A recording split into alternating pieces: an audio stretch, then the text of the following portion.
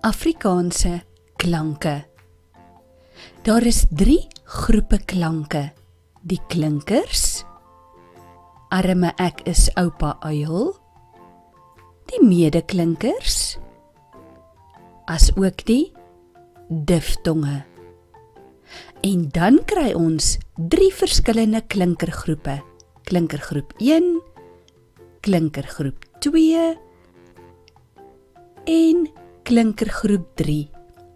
Ons gaan nou elke een bestudeer in 'n bietjie meer detail.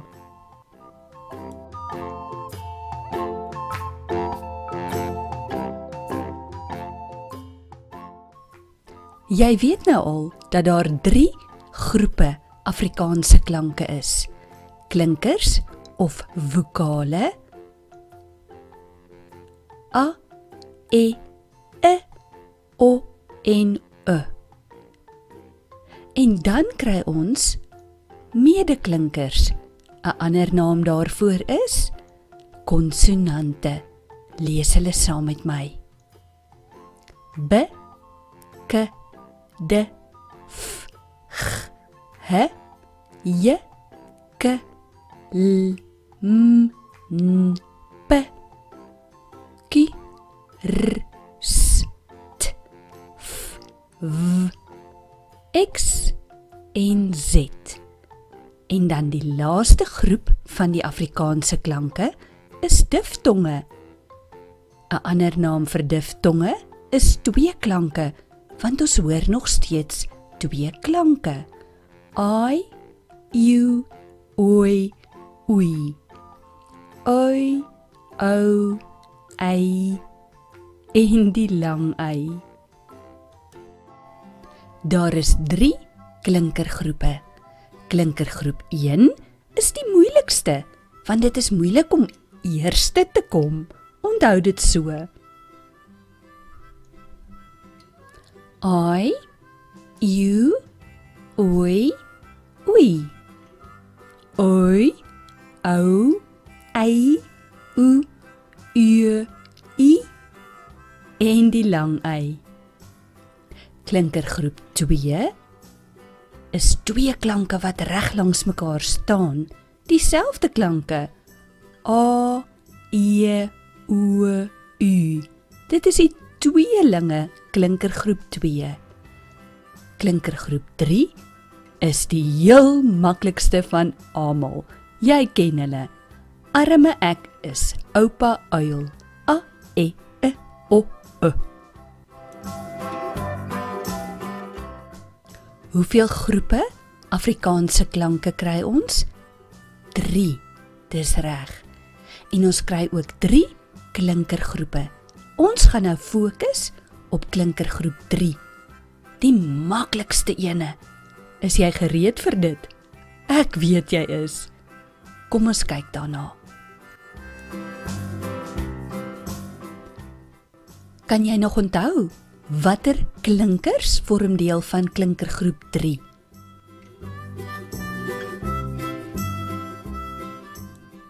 Lees saam met my kort woorde met die kort klank in die middel.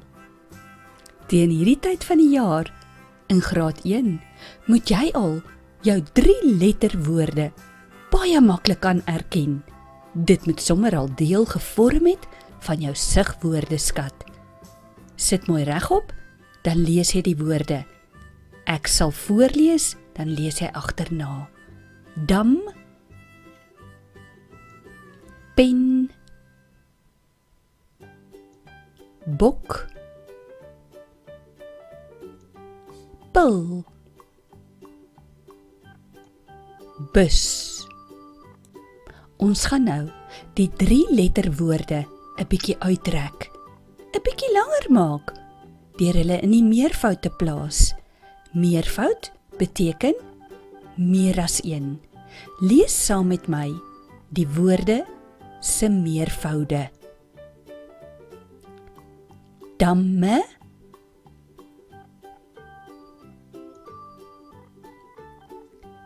penne.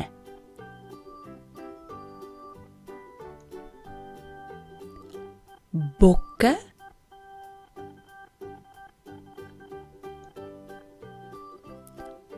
pille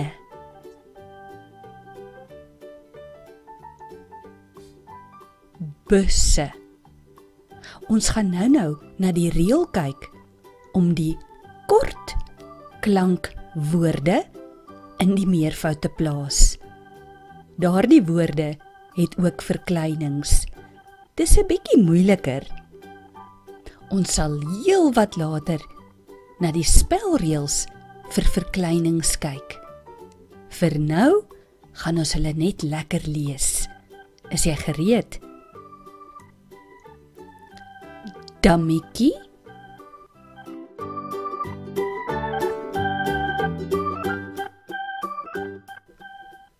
Pennetjie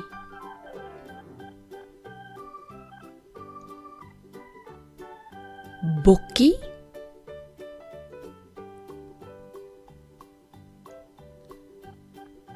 Billetjie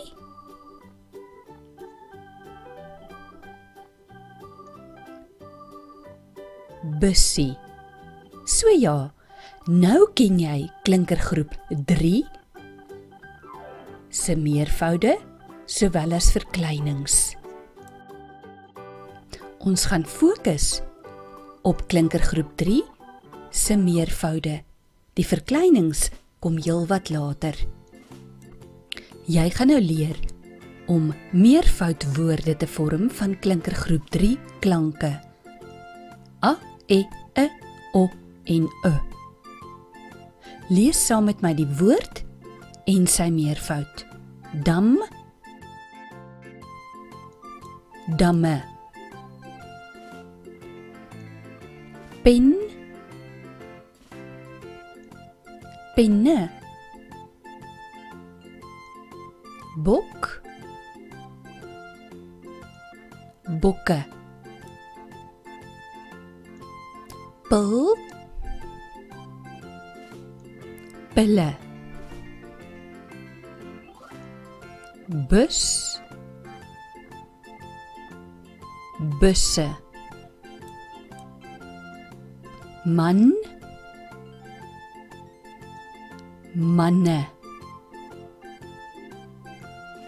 rek? Rekke bos? Bosse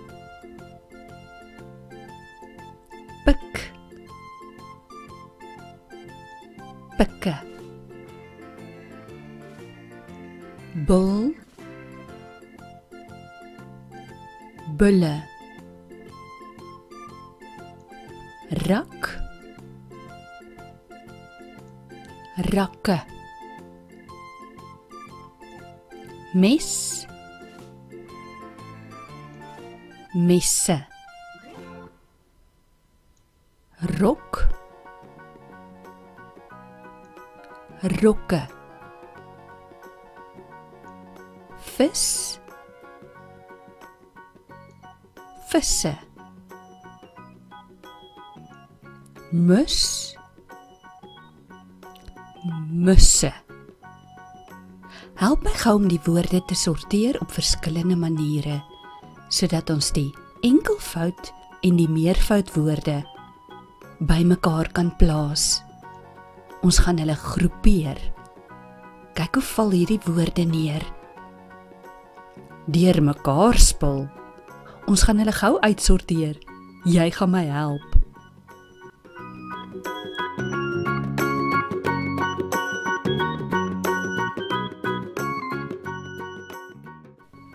Kry die woord bus. Sit hom op jou tafel en soek die meervoud kry jy hom. Sit hom bo op die enkelvoud. Das hy bus busse. Volgende woord.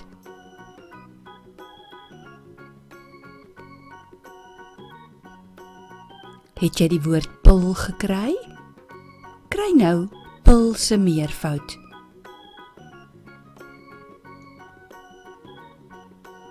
pille.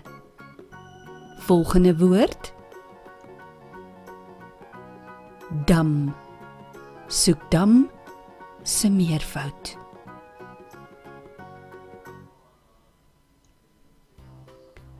Dam, damme. Pen het jy hom gekry. Sit hom neer en soek sy meervoud.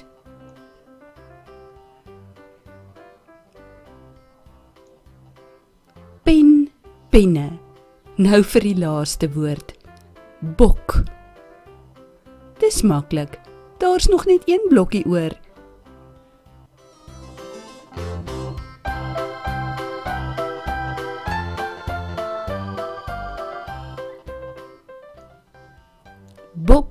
Bokke. 5 dorings met enkelvoud en meervoud woorde. Kom ons speel nog 'n speletjie. Jy moet baie mooi oplet waar ek watter woord plaas. Ons gaan hulle soek.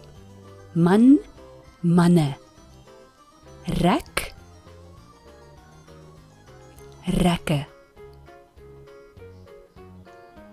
Pik. Kyk baie mooi. Pikke. Bos. Bosse. Bul.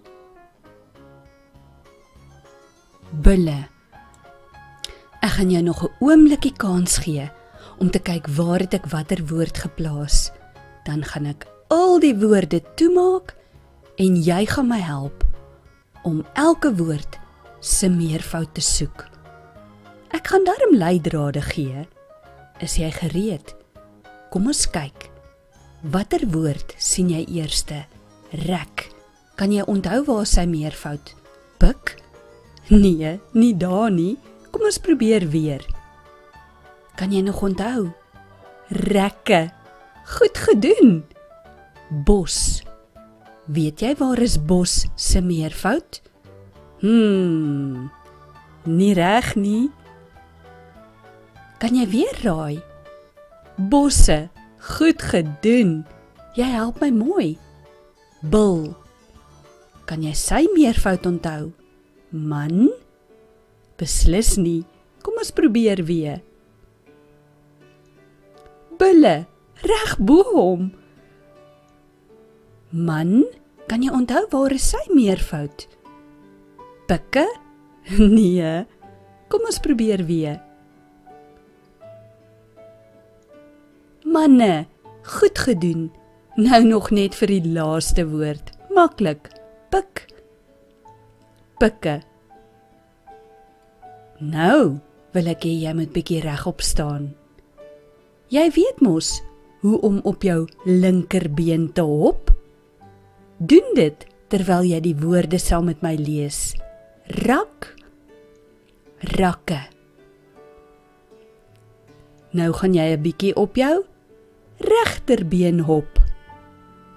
Gereed.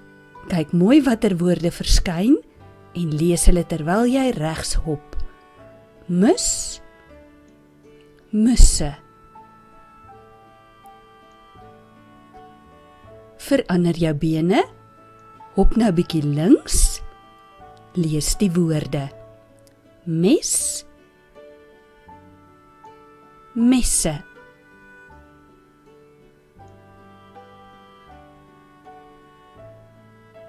Hop 'n bietjie regs. Is jy al moeg? Lees die woord. Vis. Visse. Rel gou jou bene. Jy gaan nou links hop.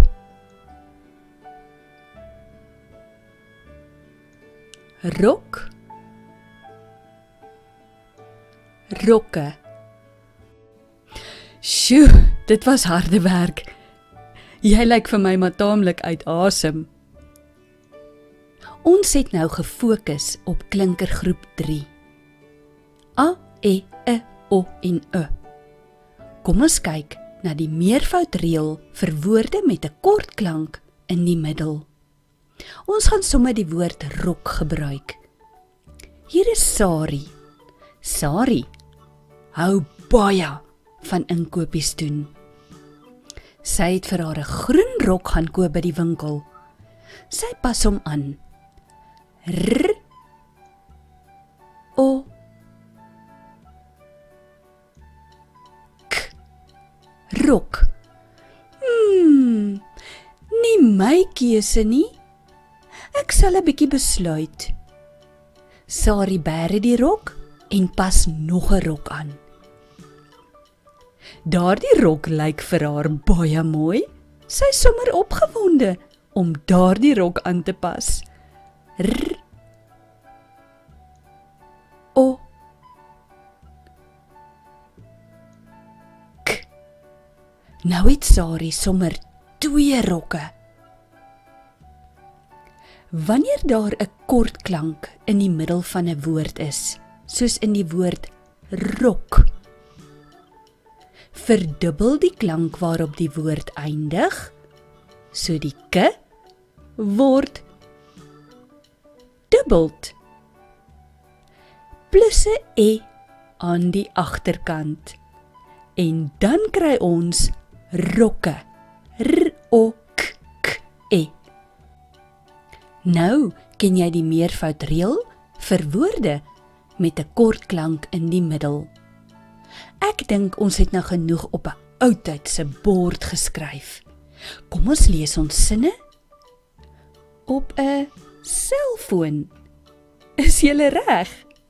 Kyk mooi en lees saam met my die sinne soos wat dit op die selfoon verskyn.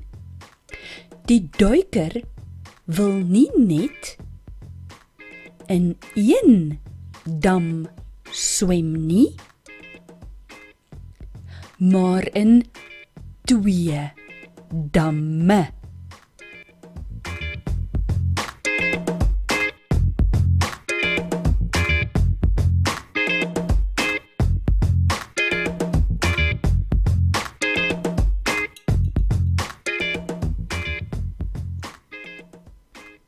Juffrou skryf met 'n rooi pen.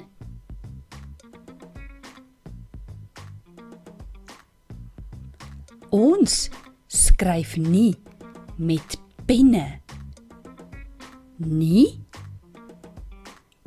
Kyk 'n bietjie na die verskillende tipe skrif op hierdie selfoon.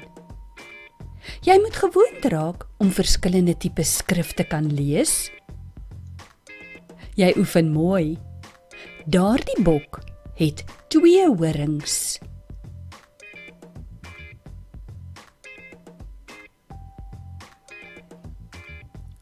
Maar die trop bokke het baie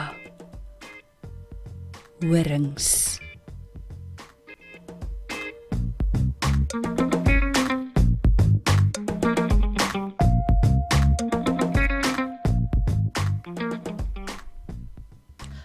Ouma drink net een pil in die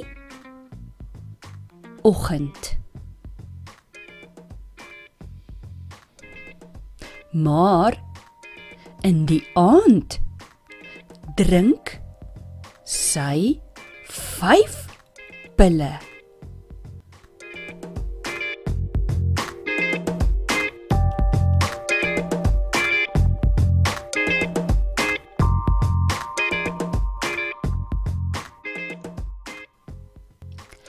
Ek ry bus skool toe.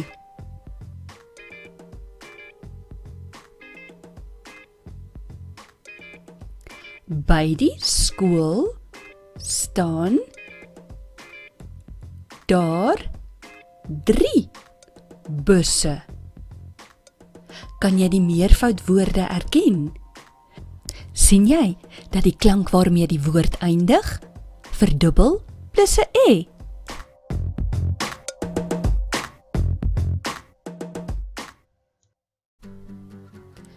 Ek wonder of daar 'n man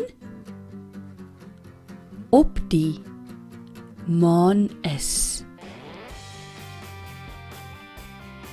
Dalk was daar al heelwat manne op die maan. Die meervoud van man kan ook wees mans. Albei is reg afhangende van hoe ons hulle in 'n sin gebruik.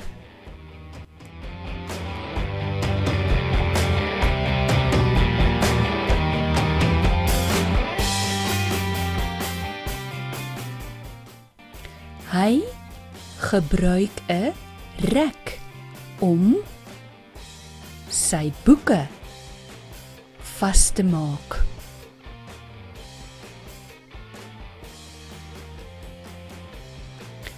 Paar rekke hou die boeke stewig.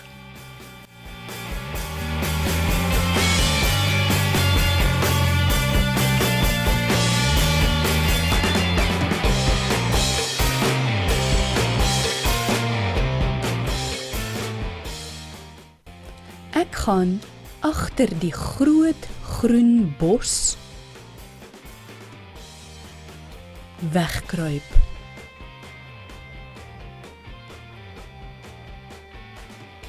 Die ander bosse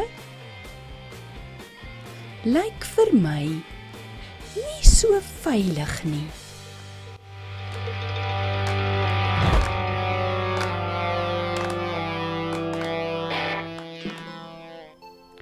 Die werker gebruik 'n pik om die gat te grawe. Dit gaan vinniger as klompwerkers. Die gat grawe met 'n paar pikke.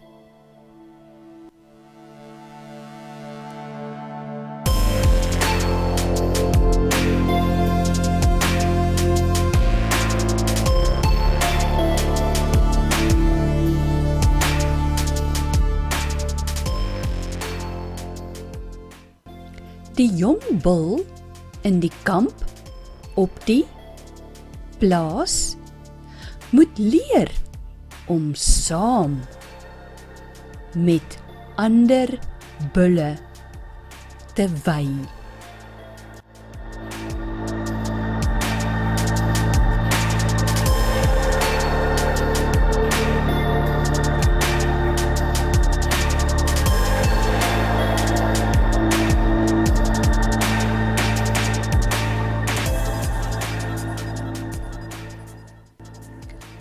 Ons bære die handboeke op die boonste rak.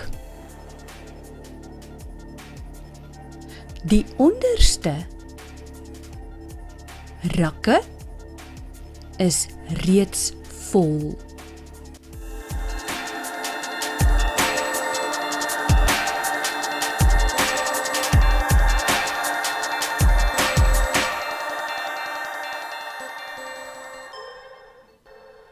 ‘n skerp mes word veilig in die messe. Laai gebere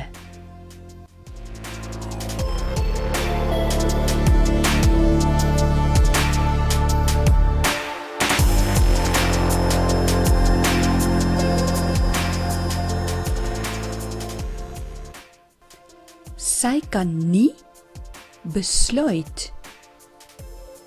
watter rok om te kies tussen al die rokke nie.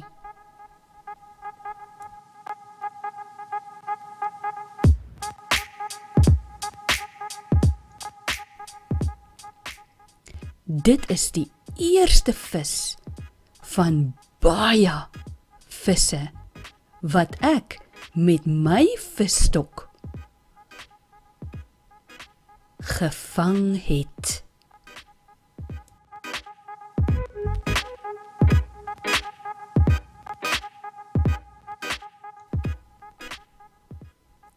In die winter besluit ek watter mus van al my musse gaan ek dra.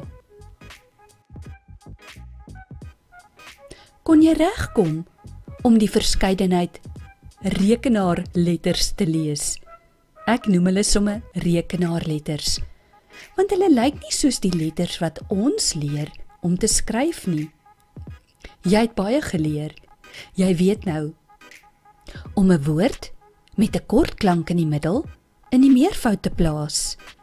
Jy het sommer ook 'n reël geleer om dit elke keer te kan toepas. Jy moet lekker lees en kyk bietjie van nou af of jy die enkelklank meervoude kan erken terwyl jy lees.